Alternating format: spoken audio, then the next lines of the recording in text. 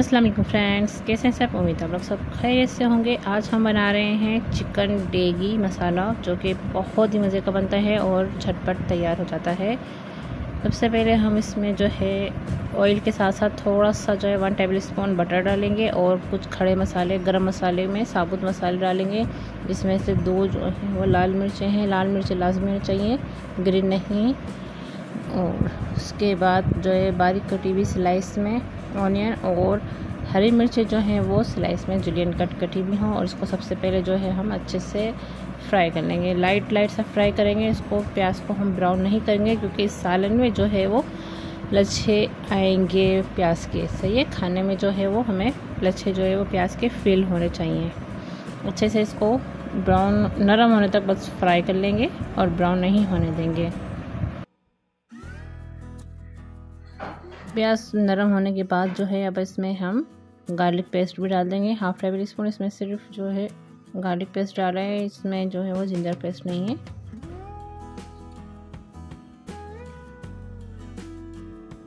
अब जो है इसमें चिकन को ऐड कर देंगे और अच्छे से फ्राई कर लेंगे। और अच्छा इसमें जो है हाफ़ के जी अगर आपका मीट है तो हाफ़ के जी ही अनियन होनी चाहिए।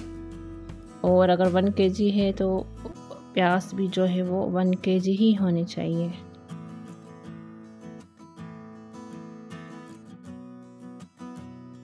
टमाटर को जो है वो हम चॉप करके रफली चॉप कर लेंगे और ये स्लाइस में या कटिंग नहीं होगी, इसको चॉप करना लाजमी है। बारीक बारीक पीस कर सकते हैं आप या चॉप करना चाहें तो।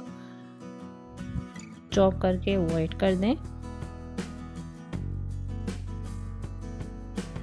अब इसमें हम बेसिक मसाले ऐड करेंगे सॉल्ट टू टेस्ट हल्दी half table spoon red chilli powder one table spoon और हाफ़ टेबल स्पून कश्मीरी लाल मिर्चें coriander powder one table spoon वो भी ऐड कर देंगे।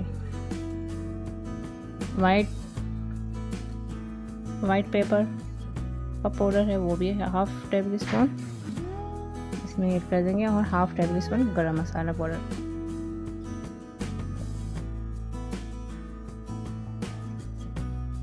सारे मसाले ऐड करने के बाद हम इसमें अभी पानी ऐड नहीं करेंगे, क्योंकि टमाटर से पानी रिलीज़ होगा, उसी पानी में ये अच्छी सी कुक हो जाएगी।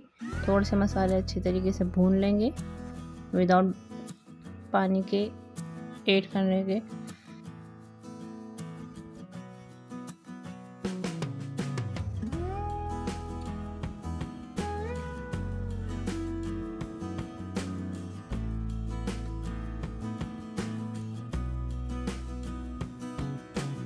टमाटर का पानी खुद ही रिलीज़ हो गया है। अब इसको अच्छी तरीके से जो पानी है उसको हम ड्राई कर लेंगे। ढक्कन से लीड को कवर करके।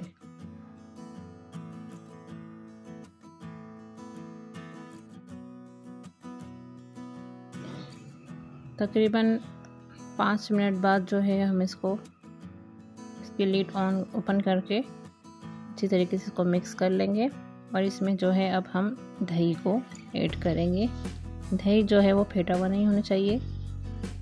इसमें आप बगैर फेटा हुआ दही डालेंगे क्योंकि इसमें से जो दही के पीसीस है वो नज़र आने चाहिए। दही भी जो है अच्छी तरीके से मसाले में मिक्स हो गया है। अब हम एंड में जो है इसमें ब्लैक पेपर जो है पाउडर वो ऐड कर देंगे इसमें। हाफ़ टेबल स्पून के करीब, क्योंकि इसमें मिर्च बहुत ज़्यादा ऐड कर दी हैं, इसलिए जो काली मिर्चों का पाउडर है वो हाफ़ टेबल स्पून डालेंगे और बारीक कटा हुआ हरा धनिया डाल देंगे और अच्छे से इसको मिक्स कर लेंगे।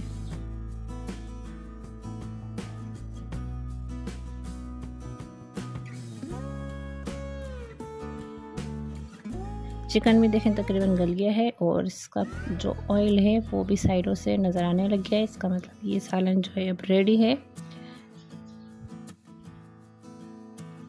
चिकन जो है, वो तकरीबन रेडी है। चिकन भी गल चुका है और जो है, साइडों में से जब ऑयल वाजे होने लगे, दिखने लगे, इसका मतलब ये है, सालन रेडी है और ये इसकी भुनाई वगैरह भी अच्छी तरीके से हो गई है। आप देखें, इसका लुक बिल्कुल रेगी स्टाइल जैसा चिकन मसाले का जैसा आया है।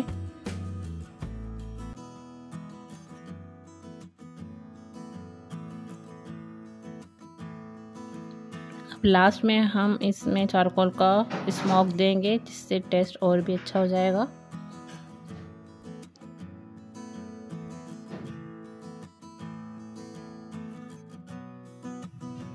आपको ये मेरी रेसिपी कैसी लगी, मुझे कमेंट करके ज़रूर बताइएगा।